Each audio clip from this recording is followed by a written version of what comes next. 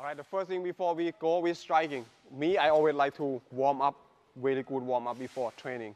So we're gonna warm up first, but the way we warm up, we're gonna warm up with basic, how to kick, and some easy setup and how to kick, low kick, body kick, left and right, and that's it for like two minutes, and then we're gonna go with the, with the drill. All right, so here we go. Like we talk about kick first, right? So people, some people kick like this, like that. The best way we do like Thai kick, we don't go like round, we don't go far. We just kind of lift it up there, and then we turn your hip right away, like boom, like that. It's just like really tight. So here you take a step a little bit. It depends on the distance, right? Take a step, and then from here your hip, your legs, your whole leg, your hip, and your chest, your hand go move the same time. Boom, there, right? Just that's it. Boom, bring it back.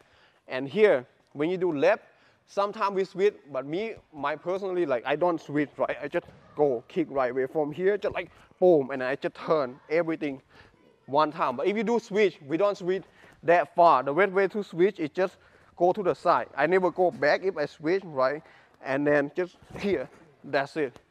Land, right? One, two, back, right? Don't go far, really tight.